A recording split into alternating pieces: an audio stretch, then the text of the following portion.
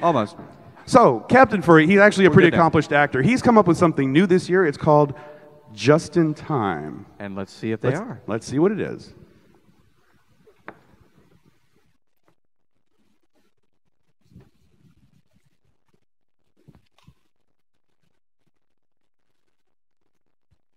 Pittsburgh High School, we're the Pitts. Mrs. Highback speaking. How can I help you? Oh, it's you, Mrs. Weatherscott. Causing trouble, are they? Will you just send them down here to the office? Our new vice principal is due here any minute. No, but I'm sure he'll be just fine. Can I help you? Yes, I'm Mr. Vanderveer. Oh, the new vice principal. It's nice to meet you. I'm Rose Hyback, the school secretary.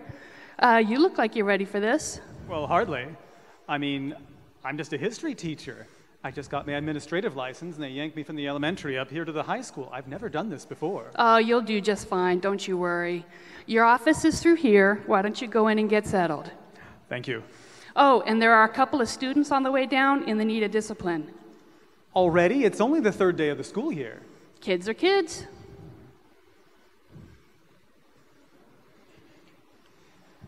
Settle down, you two, and hand me those disciplinary referrals. Mr. Vanderveer, our new vice principal, is here. You two are in for it now. You just wait. Whoa, wait a minute. This student lifted his leg and piddled on the teacher's desk? and this one was found rummaging in the dumpster. These aren't kids, they're animals. Uh, you have no idea. All right, you two, get in there. All right, now see here, you two ju- Look, you.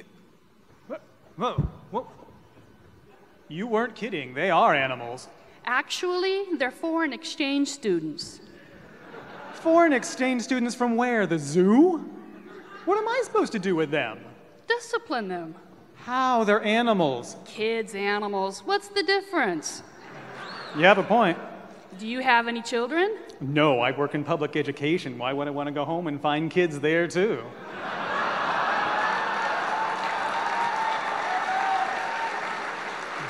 Do you have any pets? Yes, I have a very well trained German Shepherd. I. Ah. All right, you two, sit, sit. I presume you're the one who piddled on the teacher's desk. Bad dog. You are going back to that room and you're going to clean it up. Be thankful I don't rub your nose in it.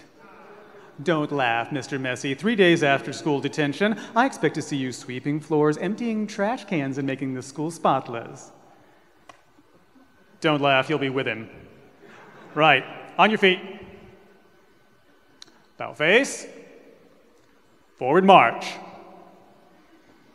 So, did you get those two animals under control? Kids are kids.